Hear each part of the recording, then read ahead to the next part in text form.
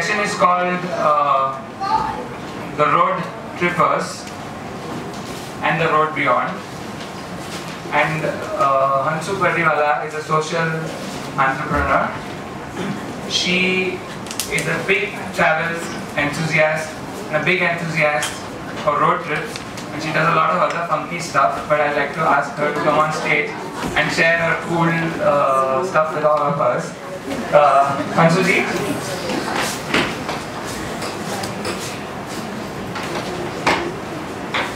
Stage is yours. Hi, good evening. Hi. Okay, can you hear me? Yeah. Good evening, and it's so great to see so many enthusiastic 50 youngers, or what, what, what did she say? Golden plus four or golden plus. so it's really nice. And uh, well, I mean, our I was I think me and my husband we kind of grew up together. So we were 18 when we met. And you know, it's like a natural pro- progression when you enjoy doing the same things. So we always had a passion for road travel. So when we had the Fiat in those days, when there was this, this little gadi, when the roads were not good, and you know, going to Lonavala meant uh, putting down the air conditioning and going up the ghats very slowly. That was the time we actually started traveling, which was like many, many years ago. And then as all this evolved and the roads became better and infrastructure became better, we got a little bolder and we realized, okay, this is really good fun. And so my kids have also kind of grown up with that thing. So I remember the first thing was when my younger one was six weeks old. We just dumped him into the car and we just took off to a place called Daman, Daman which, which is now like round the corner for us because we've traveled very, very far. So, um, so this road, this passion kind of kept growing, but it kind of took a break in between when I started working. And then like when the kids are little, they have school and you can't take off whenever you want. And both my boys went to Ooty for studies. And um, we bought a Scorpio at, at some time around then. So we said, okay, uh, before my younger one graduated, we decided that we, we have to take a road trip to Ooty because that was like the logical thing to do. So that was our first real road trip.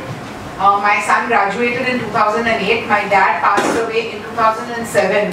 And I remember, you know, through the trip, I could keep hearing him saying, "तुम लोग पागल हो क्या? ऊटी कौन चला के जाता है?" You know, because for him it was like, why would you do that? You know, but this was like the bug that had bitten us. So it was a really good trip, but very unplanned, and we just went with the flow and uh, reached there. And then my son had to move back to Bombay with all his stuff, so we put everything into his uh, into the car and brought it back. So that was the first one. And then we realized this is fun, so we did this as often as we could. But in 2010, that was the year that I turned 50, uh, we decided that we'll celebrate my 50th birthday by driving to Ladakh. and that was like the really something that we were looking forward to. And then actually I got, I had a change of heart because both my kids were studying in Australia by then. And I wanted to celebrate my 50th birthday with them. So I said, okay, let's dump it and let's do some other time. And luckily we did that because in 2010 was the huge uh, landslide and a lot of devastation and destruction in Ladakh. And I think that might not have been the best way to start this thing, you know, that we had decided to do. So in 2012, we decided, okay, Ladakh, that we postponed, let's do that.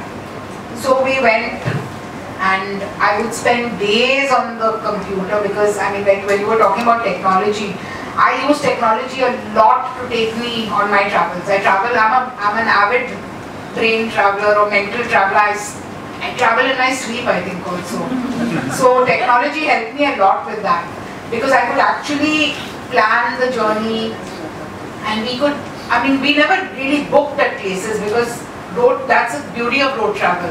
That you just go and whichever place you find nice, you just stop there. So that's what, but it helped us kind of decide a kind of path that we would take. And um, so that was in July of 2012. And before we went, uh, my kids told me, Mom, have you got a will? I said, why? We're going on a road trip. What if you both die? I said, okay, that's a good point. But like we didn't have enough time, and let me tell you, I still don't have a will. So, so that, that hasn't sorted that out. But anyway, seriously, I think people do need to. After 50, I've been hearing a lot of my friends talk about. I don't think I'm gonna die anytime soon. and if I do, let my kids have to figure out what to do with my stuff. You know, I mean that's their problem. So anyway, so then I actually, you know, that, that fun of planning my trip kind of, I took a one step back and I said, oh God, maybe we have to do this, you know you just realize again that as a human being you're completely insignificant. So I think road travel for me has become like a, it's become like a nasha. I just, I look at those pictures of mine and I'm ready to sit in the car and go where I see. 50 Young, the channel dedicated to us for folks 50 plus and forever young. Subscribe to 50 Young today!